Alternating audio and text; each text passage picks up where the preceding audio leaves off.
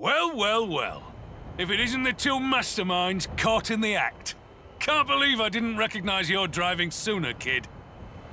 Uh, Mike, glad you're here. How do you like this, uh, this dummy the art department made? It's, um, it's very realistic.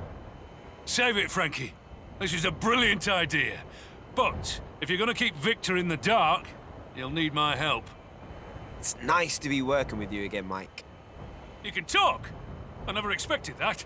Uh, look, get in the car. We've got a big jump to do.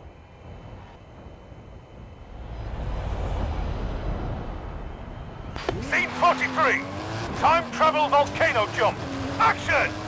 Uh, Mike, did you just say volcano jump? Come on now, kid. I saw the opening ceremony. Hammer it up the hill, kid. That stunt vehicle is a Mike Steel Special. Custom engine and suspension.